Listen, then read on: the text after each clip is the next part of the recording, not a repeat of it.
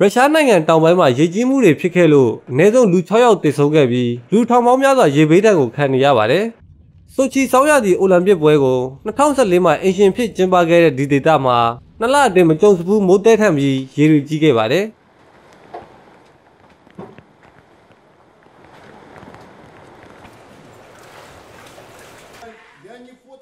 တေဆုံးခဲ့တဲ့သူတွေဟာမိုးရေတွေတဲထက်ပြီး ရေလိုင်းတွေပုတ်ခတ်ခဲ့လို့တေဆုံးရတာပါလို့အာဏာပိုင်တွေကဆိုပါတယ်။အသက်အရွယ်ကြီးရင်လာတဲ့အဖွားတို့တူလည်းပျောက်ဆုံးနေတယ်လို့ပြောပါတယ်။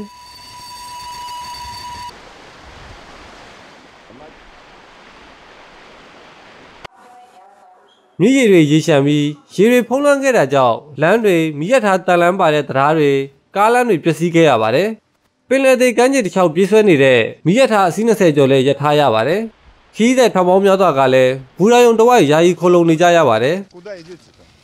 Сочи? То есть вы идете в Сочи, Да. а знаете, сколько километров? ရုရှားမိရထားအာဏာပိုင်တွေကတော့သူတို့ဟာယထာလမ်းကြောင်းတစ်ခုကိုပြုပြင်ထားပြီးပင်လယ်သေးကမ်းခြေကမိုးတက်ထန်မှုကိုအပြင်းထန်ဆုံးခံစားရတဲ့မျိုးနှမျိုးကိုပြည့်ဆွဲပေးဖို့မြန်လုံးနေတယ်လို့ပြောပါတယ်။